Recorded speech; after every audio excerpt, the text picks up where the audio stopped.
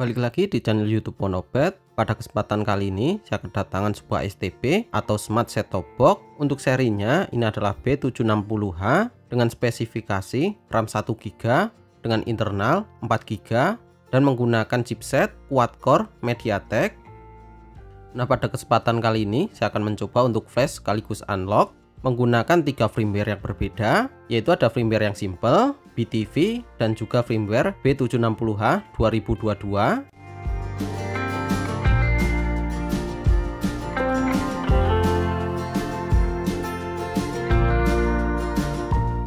Ini adalah STB B760H versi lama. Karena STB ini adalah versi lama, mungkin jika kita gunakan pada saat ini, ada beberapa aplikasi yang tidak bisa kita gunakan. Jadi saya akan mencoba untuk flash sekaligus unlock menggunakan tiga firmware yang berbeda apakah dari ketiga firmware ini masih bisa kita gunakan untuk nonton TV, streaming, ataupun untuk aktivitas yang lain. Untuk tahap yang pertama sebelum kita flashing, kita harus install dulu untuk drivernya. Di sini saya sudah menyiapkan sebuah driver untuk STB B760H yaitu USB all version dengan versi 1.0.8 Nah ketika kita menginstal ini bahasanya ini saya tidak tahu pakai bahasa apa. Jadi saya akan coba asal pencet yang penting ini bisa terinstall. Nah setelah proses install ini berhasil ini akan muncul sebuah folder baru pada desktop yaitu folder MTK USB driver. Nah di dalamnya ini ada empat folder karena Windows yang saya gunakan ini adalah versi Windows 10 jadi saya akan menginstal menggunakan folder yang ini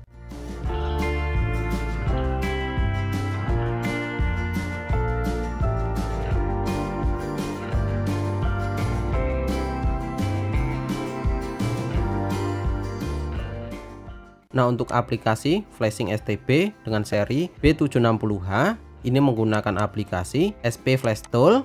Nah ini adalah aplikasi yang biasa digunakan untuk flashing smartphone tetapi bisa juga kita gunakan untuk flashing STB B760H karena menggunakan chipset MediaTek. Nah, untuk menjalankan aplikasi Flash Tool, jangan lupa kita menggunakan administrator.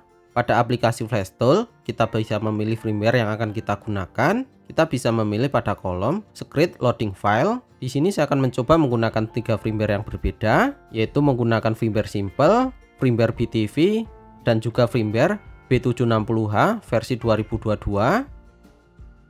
Untuk proses menghubungkan STB dengan seri B760H ini sangat mudah. Kita cek pada bagian power, ini harus keadaan off. Nah, untuk USB yang kita gunakan, ini pakai USB 1 Nah untuk yang pertama saya akan mencoba menggunakan firmware simple. Saya akan coba flashing menggunakan kabel USB to USB tanpa menghubungkan kabel adapter. Di sini kita bisa cek pada laptop ketika kita menggunakan firmware simple dan juga menggunakan kabel USB to USB saja.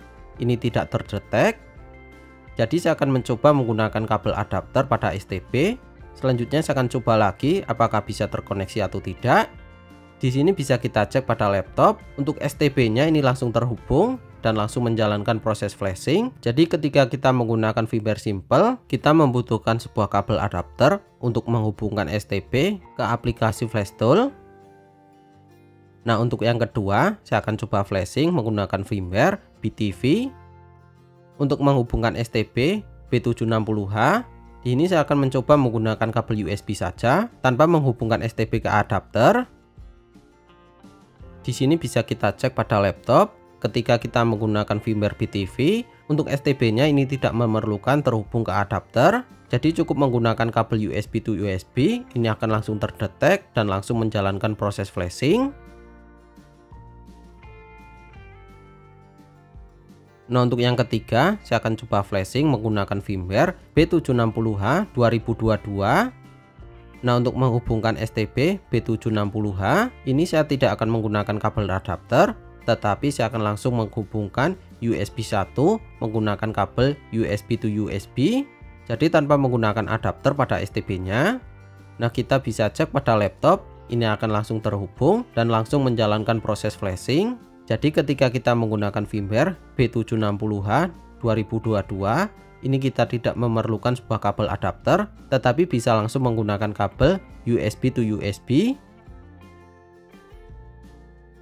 ini adalah tampilan launcher menggunakan firmware simple nah untuk aplikasinya ini sudah lumayan banyak yang terinstall sekarang saya akan coba cek dulu untuk versi Android di sini menggunakan versi 4.4.2 atau versi KitKat.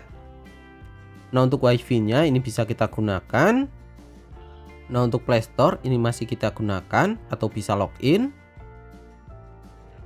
Nah, untuk aplikasinya ini ada yang bisa digunakan, ada yang tidak. Saya akan mencoba membuka aplikasi YouTube. Ini tidak bisa.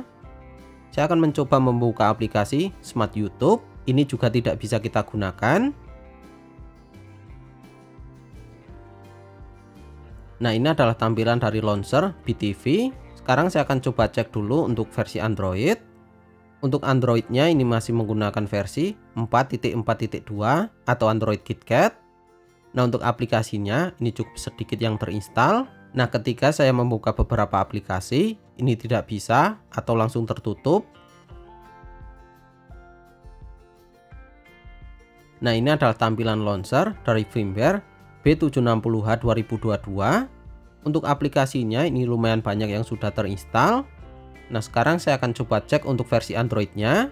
Nah untuk versi Androidnya ini masih menggunakan versi 4.4.2 atau Android KitKat untuk WiFi nya ini masih bisa kita gunakan untuk Playstore ini masih bisa login dan untuk aplikasi YouTube ini masih bisa kita gunakan Tadi adalah hasil flashing STB bekas IndiHome dengan seri B760H menggunakan tiga firmware yang berbeda. Untuk ketiga firmware-nya ini lumayan ringan jika kita gunakan pada STB B760H. Nah untuk cara flashingnya ini agak berbeda. Ada yang harus menggunakan kabel adapter, tetapi ada juga yang cukup menggunakan kabel USB to USB. Nah untuk aplikasinya ini ada yang sudah terinstall, ada yang belum dan juga ada beberapa aplikasi yang bisa kita gunakan dan ada juga aplikasi yang tidak bisa digunakan pada firmware tertentu